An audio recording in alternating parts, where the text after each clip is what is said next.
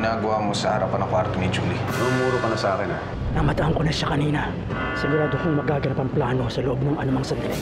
Malalagasan na ng kakampi si Evita Peraltes. Hmm, dikit na dikit ka, Enrique, yung Pablo na yan, ha?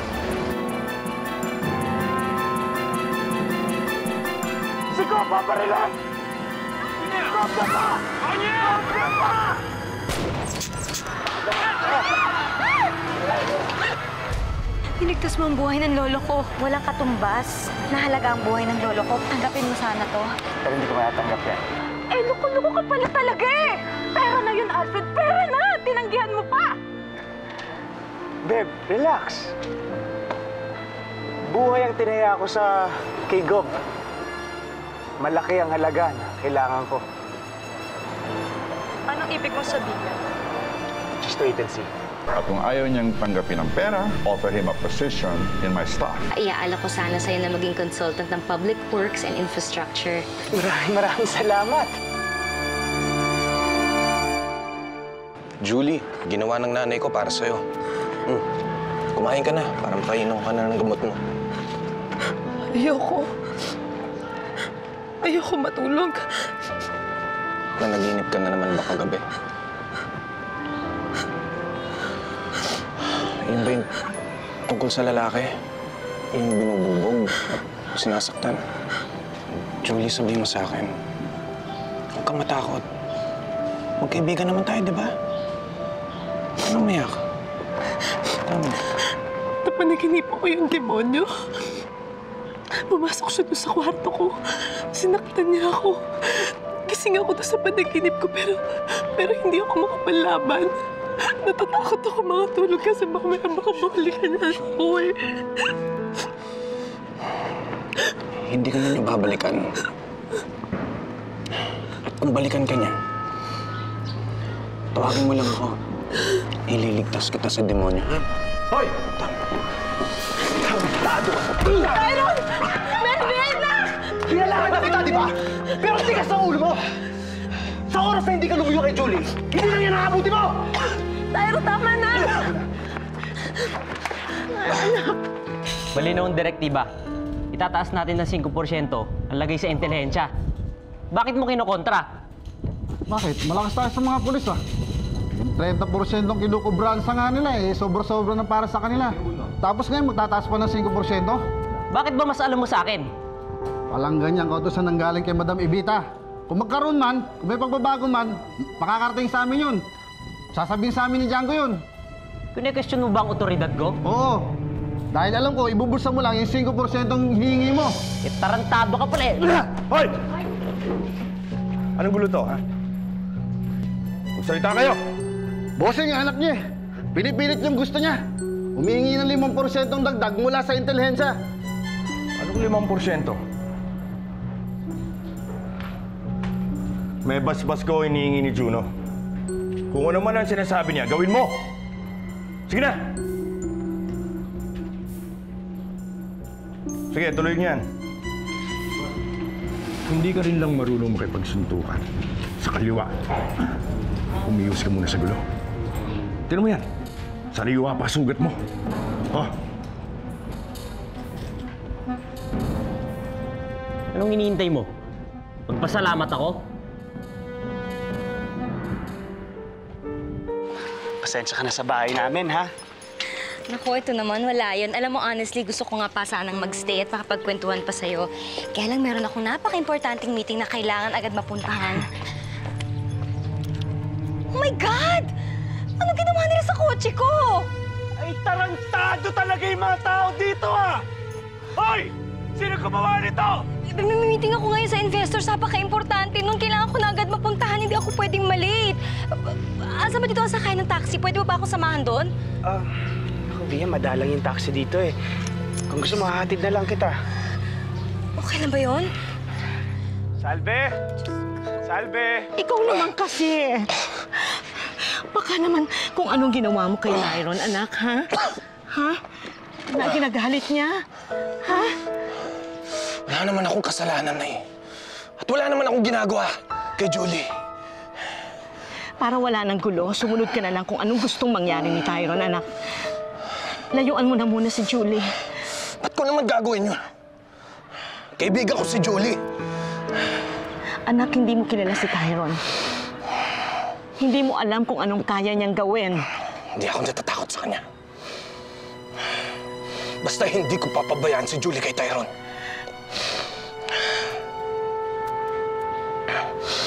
Malakas ang kutob ko na may masamang intensyon siya kay Julie. Hindi ako natatakot sa kanya. Ang tigas naman ng ulo mo, anak eh. Huwag ka na makialam sa kanila. Gusto mo bang mapahama ka ulit? Ha? Melvin, nakikiusap ako. Iwasan mo si Julie. Iwasan mo siya, anak. Sorry, Nay. Pero hindi ko magagawa yun. Melvin! Melvin! Melvin! Salve! Oh, Alfred, Kunin mo yung susi. kailangan mo na ba ngayon kasi lilinisin ko sana yung kotse? Nahingo ko ba kung hindi ko kailangan? Ano? Sandali May lang. polo ko na rin. Oh, Alfred, sandali lang. Sigurado ka ba okay lang? Baka naman makaistorbo pa ako sa'yo. Okay lang yun. Hayaan ka ba namang mapaya sa mga investors ang future boss ko? Thank you. Alfred, Yung gate buksan mo. Ay, ha? Thank you, ah. Oh, sige. Yung bukas ha. Baka masagi ko pa.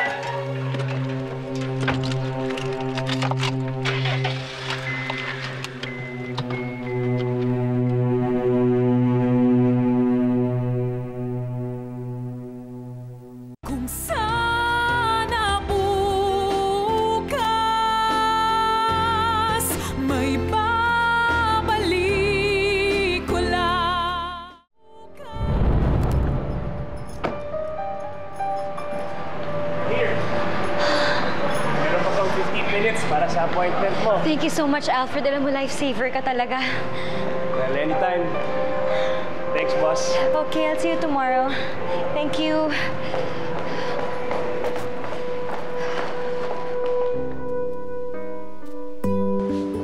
Derek! Derek, sandali lang. Oh, ito, ibigay mo yan sa girlfriend mo, ha? Nako, salamat ah. Pero mukhang malabo na eh. Iniiwasan na kasi ako ni Joey. Bakit naman?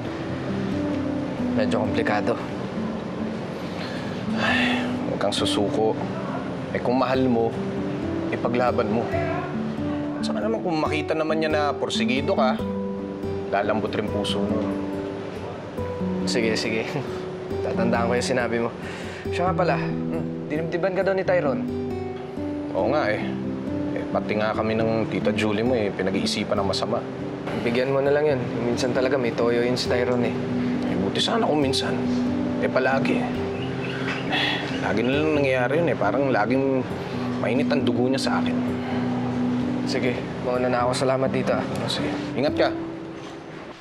Kuya, pasensyahan na kung ngayon lang ulit ako nakadalaw, ha? Itong mga huling araw kasi, ang gulo-gulo ng isip ko. Hindi na kami nag-uusap ni Derek, kuya. Pinipilit ko kasi siyang iwasan eh. Naisip ko, baka, baka nga tama sina mama at papa. Nanamay ka lang kay Derek. Pero kuya, huwag ka magagalit sa sasabihin ko ah. Gusto ko na patawarin si Derek. Parang, para kasing dinutulog yung puso ko sa ginagawa kong pag-iwas sa kanya eh.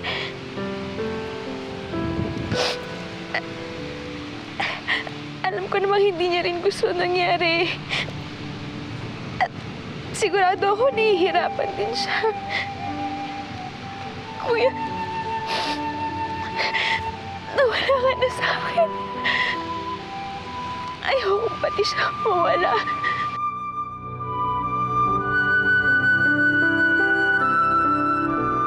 Mahal na mahal ko siya eh.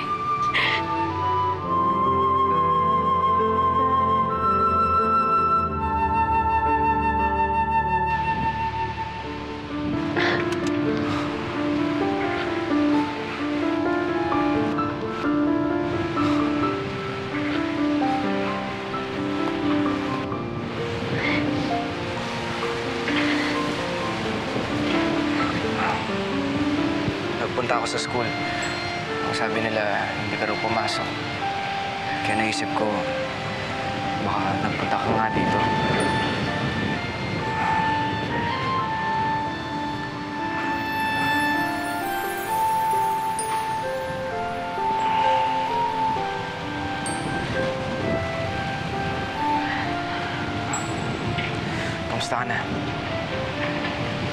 Okay naman. Ikaw?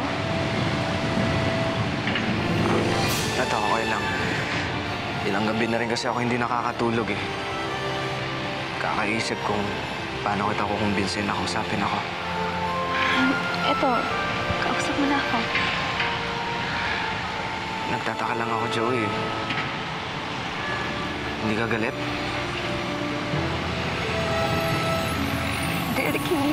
Galit sa'yo eh. Siguro, nahihirapan akong tanggapin ang katotohanan na kung hindi si Kuya ang namatay, ikaw ang mawawala sa akin. Derek, hindi ko kaya yun. Hindi ko kaya mawala ka sa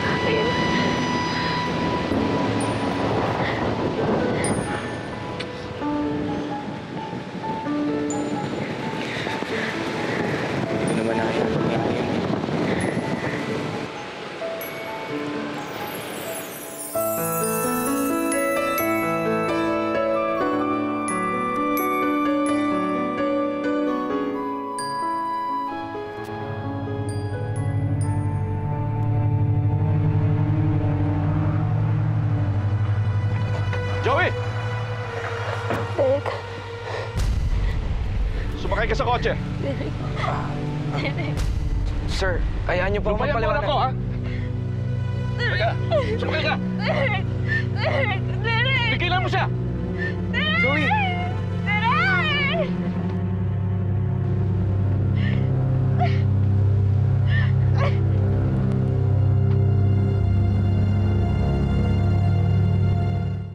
Cesar, masyado nang nagiging agresibo ang mga kalaban namin sa sunod-sunod nilang pag-aatake. Kaya ka nga nandyan sa posisyon mo para gamitin mong otoridad mo sa pagbuelta sa kanila. I assure you, Evita, ginagawa na namin ang lahat. I want the identity of this rival syndicate immediately and I want him liquidated and crippled! Ayoko nang maulit pa yung nangyari kay Fausto. Makakaasa ka, Evita. Talaga bang ganito? Na sunod-sunod ang pag-atake sa buhay namin ni Emilio noon? Walang araw na walang banta sa buhay niyong dalawa noon. Pero wala kang kalam-alam. Yes, because he did a very good job of protecting me. Na sana magawa mo rin, Django, para sa anak ko. Mga anak, Evita. Dalawa sila. At para malaman mo, hindi lang si Emilio ang pumoprotekta sa'yo nun. Dalawa kami. At hanggang ngayon, nandito ako, pinoprotektahan ka. Kung hindi mo kayang suklian ang pagmamahal ko, suklian mo man lang ng tamang pagtrato kay Juno. Dahil siya ang tunay mo, anak. Hindi si Derek. Huwag mo akong tuturo ang maging ina sa mga anak ko. At sa susunod, huwag na huwag mong isusumbat sa akin ang pagprotekta mo. Because guess what? That is your freaking responsibility. Akala ko ba hindi ka na nakikipagkita sa Derek na yan? Wala naman po kaming ginagawang masama eh. Mag-isip ka nga, Joey! Ang pamilya nga ang dahilan kaya namatay ang kuya mo! Wala po kasalanan si Derek. Kasalanan niya! Dahil malamang sa hindi, para sa kanyang banang pumutol sa buhay ng kuya mo. Magulo ang daigdig niya. Baka madamay ka. Malaki na po ako. Kaya ko po ang sarili ko. Ah, kaya mo ha? Ganon? Bakit? Kaya mong makipagsabayan sa mga armadong tauhan ng nanay niya at ng mga kalaban nilang sindikato? Ha? Kaya mo? Nagmamahalan po kami ni Derek eh. Wala akong pakialam. Ito, tandaan mo. Kapag nakipagkita ka uli sa lalaking yon, padadala kita sa tita mo sa Maynila. Doon ka namin pag-aaralin. Joey! Ako yan. Hi! I'm Anne Friends. At nandito po tayo ngayon sa karumal-dumal na lugar na krimen. Madilim, nakakatakot, super creepy. Kaya, huwag kayong pupunta rito. Shut up! Tama na nga yan. Sinasayang niyo lang oras ko eh.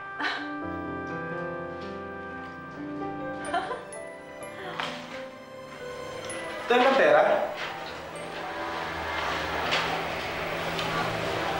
Nagalaw ko. Eh, nabore ako eh, kaya naglaro ako ng poker. Minalas, natalo. Inubos mo ng dalawang gabi? Pinatalo mo? Eh, ano ba nagagalit mo, ha? Di ba may plano ka naman? Eh, sabi mo nga, kaya hindi mo tinanggap yung card, eh, kasi barya lang yun. Yan ang hirap sa'yo eh. Pinamumuna kami yung plano. Eh paano kung matagal yung susunod nating kabing? Ha? Ano kakainin natin? Thank you for letting me know, Senator. Give my regards to Rowena, okay? And to my inaanak. Thanks, bye. Evita, Yan na ba lahat ang mga kubransa? oo, neto na yan. Kinaltas na ang intelihensya para sa buong buwan. Bueno, sabihin mo sa mga kapitalista na maglaan ng pahiyang para sa mga kabo. Total malaki-laki naman ang mga kinita nila ngayon. Yun lang ba? Kamusta yung mga kobrador natin na nahuli sa San Miguel? Okay na yun. Inayos na rin yung pisityo. At yung donasyon natin sa simbahan? Naparating ko na rin. Mabuti. Salamat, Django. Yun lang. Ang anak mo, hindi mo ba kakamustahin? Bakit may nangyari ba kay Derek? Yan nga ba sinasabi ko eh. Siya na lang ang lagi nasa isip mo eh. Ang tinutukoy ko si Juno. Para malaman mo, hindi pa magaling ang sugat niya. Pero ayun, balik na sa trabaho ng anak mo. Magtatalo na naman ba tayo? Ano ba talaga kami ni Juno sa buhay mo? Hirap sa'yo. Tuwing kakausapin kita tungkol sa ating dalawa, lagi kang umiiwas. Gusto mo umiikot ang buhay ko sa'yo. Pero hindi mo maamin na mahal mo ako. Saan mo ba nakuha yung ideyang mahal kita? Si Emilio ang mahal ko. At wala na akong mamahaling iba. Minsan nakuha mo ko. At yun ay panahon ng kahinaan at kalungkutan ko. Isang pagkakamaling paulit-ulit nangyari. Yun lang. Yun ang tingin mo. Kaya si Juno, isang pagkakamali sa buhay mo, anak mo siya. Pero mas mahal mo ang hindi mo kadugo. Mag-isip ka nga. Mag-isip ka! Sa tingin mo, mamahalin ka ni Derek sa oras na malaman niya ang buong katotohanan. Kapag nangyari yun, ikaw lang ang pagbibintangan kong nagsabi kay Derek. At kapag nalaman ni Derek, hindi kita mapapatawad.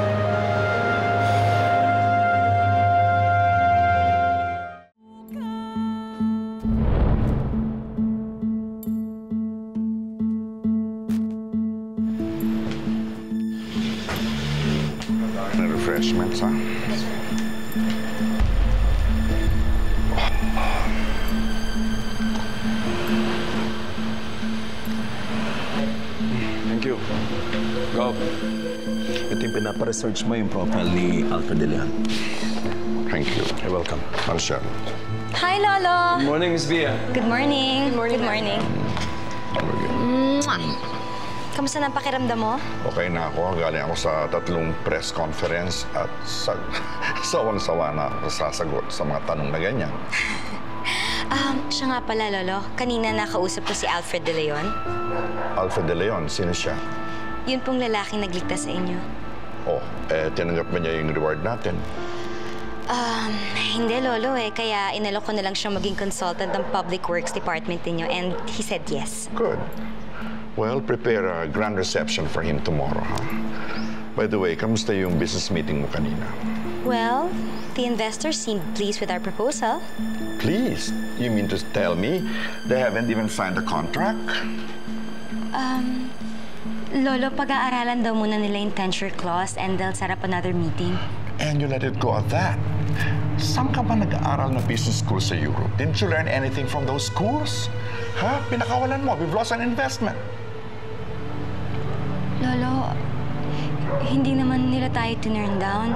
Pag-aaralan lang naman daw nila. Look, when they say they're pleased, they mean otherwise.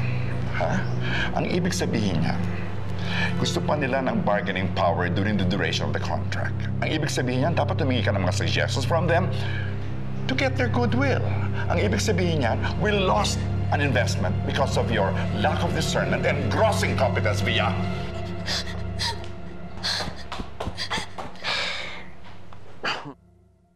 O, eto na, ang pinamili mo. E, muna sandali. Ano daw yung magiging bagong trabaho ni Alfred? Ay nako, Aling Tasing, hindi ko po kasi maintindihan yung sinasabi sa akin ni Miss V eh. Kasi English nga po eh. Pero pag uwi po ni Alfred, tatanungin ko po siya. Babae ang magiging boss ng asawa mo? Ay, opo, Aling Tasing. Alam niyo po, ang ganda-ganda niya. Ngayon lang po ako nakakita ng ganong babae. Ang pino-pino kumilos, matalino. Tapos, kalahati po ng mga sinasabi niya sa akin, hindi ko po maintindihan kasi nga po, English. Hmm.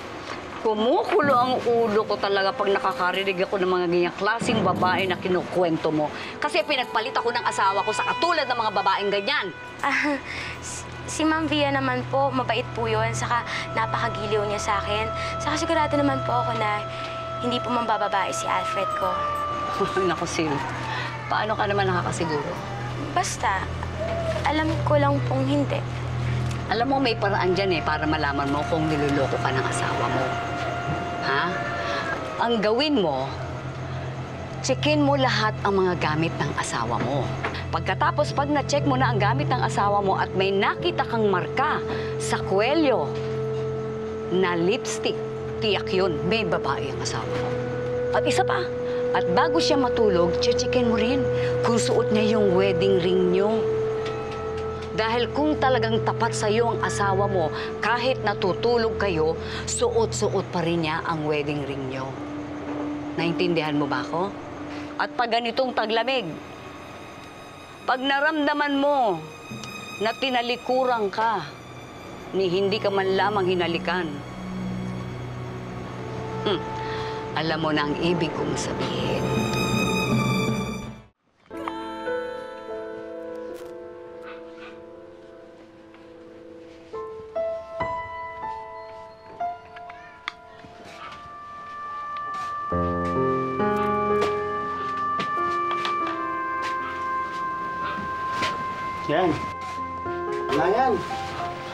Mag-ayos-ayos ka.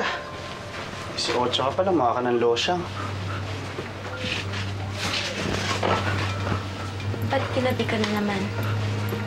Na-interrogate mo ba ako? Anong interrogate? Bobo ka talaga. Kasi hirap mo kausap. Simula ako ng maaga bukas, ha? Ayokong mahuli sa trabaho ko. Ha? Sumagot ka. Oo. Basa ko ba yung nasa utak mo? Yung mga kausap, nagsasalita. Ma'am Via? Hello, Alfred. Thank you so much for showing up. Welcome aboard. Ay, ang ganda dito sa Kapitolyo, ah. Parang sarap magtrabaho. Sana ganyan ang general feeling ng mga empleyado dito. Halika na, marami nang naghihintay sa'yo. Naghihintay sa akin?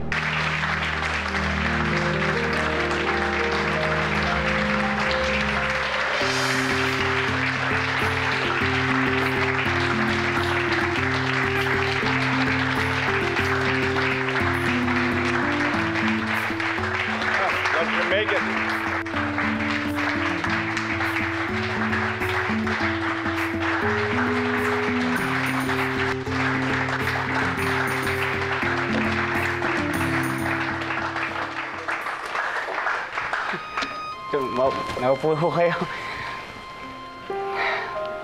Maraming salamat po sa inyong lahat. Hindi ko inaasahan na na may ganito ngayon. Ah...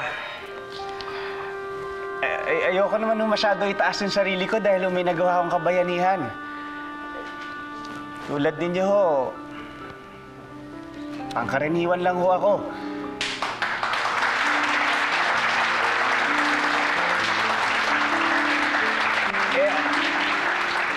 Alam ko naman ho eh, na sakaling kayo rin ang malagay sa sitwasyon ko. Ililigtas nyo rin ang mahal nating pinuno na si Governor Gabriel Fausto.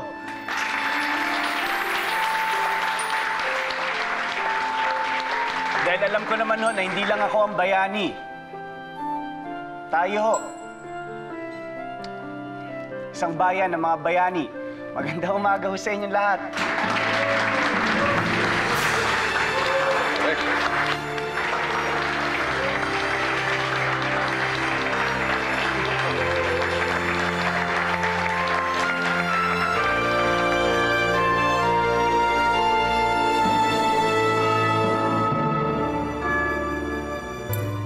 Gusto ng papa ko nalayuan daw kita.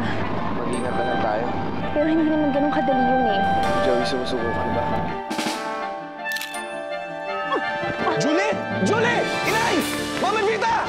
Ano nangyari? Nakapos sinalagnat na. Hindi niya sinasabi niya, I'm aspired to be the best para pumaki sa'yo. That's the nicest thing anyone has ever said to me.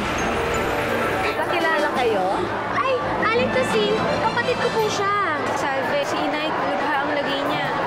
May isang dalagang tumulong sa akin. Hindi ko maipaliwanag yung naramdaman ko nung inalalayan niya ako. Sa galing? Dinalaw ko lang sa ospital si Tia Agnes. Kung gusto mong makitang buhay si Joey, susundin mo lahat ng gusto ko. May nakakawa ako! Walang yaman! Bitiwan niyo siya! Paano nangyaring buntis ka? Sino nga man ang bata? Gusto ko sanang panagutan ng batang dinadala mo. Handa akong pakasalan ka. Tinatanggap mo ba ang pag-ibig ko? Julie Maceda, do you take Tyron's son one beer present for your lawful husband according to the rites of our Holy Mother, the Church?